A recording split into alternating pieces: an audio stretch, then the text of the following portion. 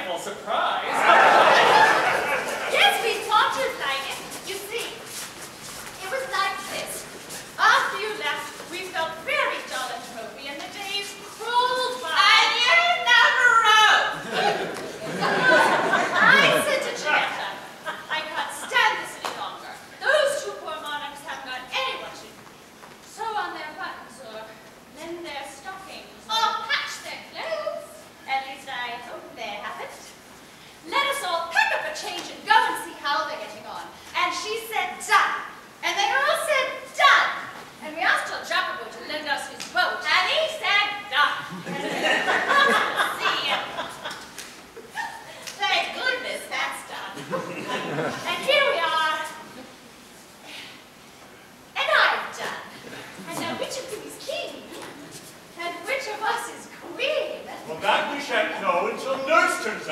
But never mind that, the question is, how shall we celebrate the commencement of our honeymoon? Oh.